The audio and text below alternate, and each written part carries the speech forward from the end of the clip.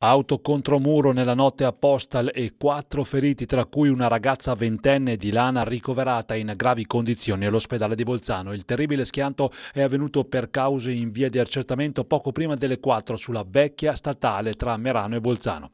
Sul posto i vigili del fuoco volontari di Postal, che hanno fornito anche queste fotografie, che hanno dovuto utilizzare le pinze idrauliche per liberare la giovane di Lana rimasta incastrata tra le lamiere. Ricoverato con lesioni medio-gravi anche un meranese di 21 anni e al pronto soccorso dell'ospedale della città della Passiria sono finiti anche gli altri due dei quattro occupanti la vettura, un 24enne e un 26enne, tutti e due slovacchi.